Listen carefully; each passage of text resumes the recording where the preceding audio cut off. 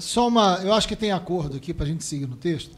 Eu chamando a atenção porque essa reflexão que o deputado Orlando Silva traz Obrigado. aqui, ela é muito importante. O texto original enviado para cá, isso não está no texto, isso não está no texto do Alexandre Moraes.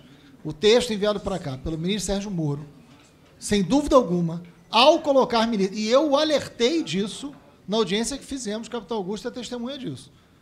Ao colocar milícia como se fosse uma facção, primeiro caracterizava pleno desconhecimento do ministro sobre a realidade das milícias e não ouviu quem deveria ouvir. Existem pessoas que poderiam contribuir.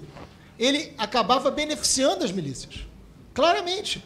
Ele diminui pena para a milícia. Além de colocar algo difuso, quando já existe uma tipificação.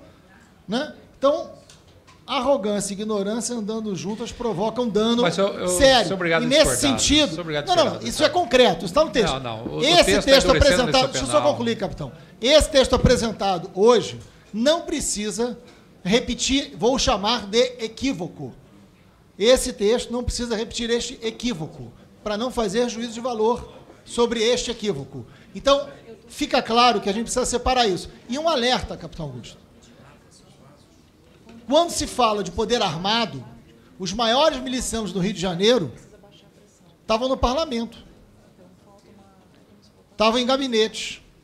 Não estavam com arma na cintura enfrentando a polícia. Só para que a gente entenda do que a gente está falando, do que a gente está tratando. É outro nível de crime organizado. Né? Enfim. Obrigada, deputado Marcelo.